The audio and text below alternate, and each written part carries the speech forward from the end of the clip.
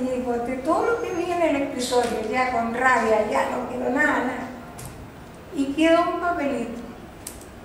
Ese papel lo tomo, me pongo a leerlo y lo primero que veo que dice, esta oración no es válida para las almas del purgatorio, sino para las almas de los vivos.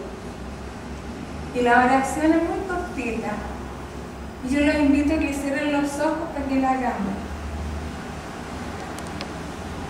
Dice, Señor Jesucristo, yo te pido el don de poder salvar un alma por cada latido de mi corazón, unido a los latidos de tu sagrado corazón y unido a los latidos del corazón inmaculado de María Santísima.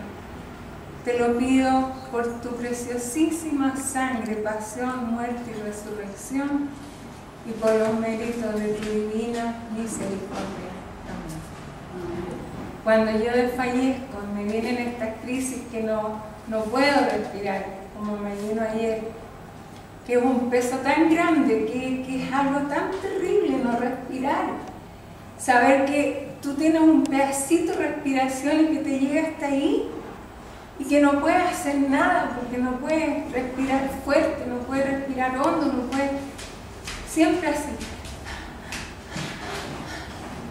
Entonces me toco los latidos de aquí de mi, mano y encuentro que todavía soy valiosa, que todavía sirvo, que todavía estoy viva y que puedo seguir en esta misión aunque sea sentada orando por las almas que Dios quiere. Eso es todo.